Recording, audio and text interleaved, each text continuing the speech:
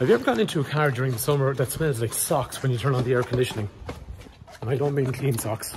Here's something I've been meaning to video for ages, right? I just got into this Santa Fe and I remember seeing this on Tucson. Sorry, on Kona when it came out. So you see here, the fan is flashing. I literally just got into the car and it was turned off and the fan is flashing and the fan's actually running. So anyway, the reason for this is to do with the air conditioning in your car. So one of the sections of the air conditioning system is a mechanism that's uh, called an evaporator. We don't currently have a car stripped, so at the moment I'm going to show you in a low-tech fashion. The evaporator is here, and this is the blower. This is what pushes the air into the cabin. Air conditioning systems rely on a refrigerant to be put into them, so that can be put in at a factory level or using machines like the one I just showed you. So once it's put into the car, eventually it'll end up in the evaporator. When the air conditioning is turned on in the car, basically the refrigerant that entered as a liquid is turned into a gas in the evaporator, and that causes cooling. So think about it this way. The air is coming into the evaporator.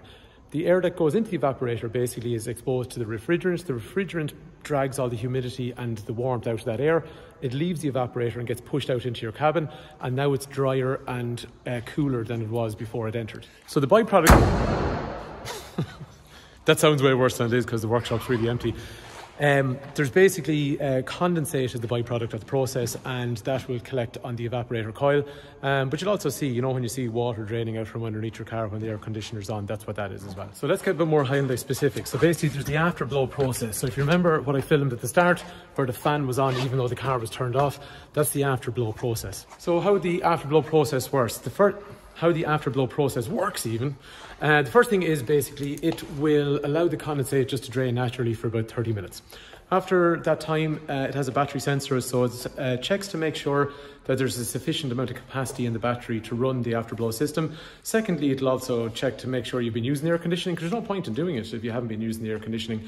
And it also makes sure that the outside temperatures aren't too low.